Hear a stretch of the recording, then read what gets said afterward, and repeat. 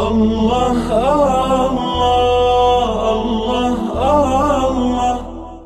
Macam mana kita sebagai yang lahir Muslim ni Lahir sebagai Islam Lahir-lahir je Islam Lahir-lahir je Islam kan? Masih ingat tak Bapak ikomat dengan azan kat telinga? Kalau ingat dahsyat lah. Tak ingat? Jadi Selalu saya terima ialah Bro Macam mana kami yang lahir Islam ni Boleh menghargai Islam? Saya kata antaranya Dakwah sebab bila berdakwah, tuan-tuan dan puan akan hargai hari ini kita bagi risalah, ada orang tolak, ada orang terima. Tapi bila orang tolak, baru dah kita rasa, ya Allah. Ini aku bagi risalah cantik-cantik, ada warna lagi pun orang tolak. Bayangkan dakwah Nabi dulu kena hina.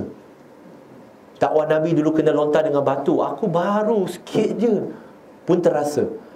You akan lebih merasai kemanisan Islam tu. Dan apatah lagi kadang-kadang bila kita bagi risalah kepada orang, mereka tak tolak Mereka kata Betul lah Wah Dan kadang bila kita dapat respon macam tu Tahu tak apa perasaan kita Perasaan kita ialah Subhanallah Rupa-rupanya ramai mereka Nak tahu tentang Islam Tapi mereka tak Tak ada cara nak tahu tentang Islam kita kata, ah, mu tak boleh baca Quran, tak boleh, tak boleh pegang.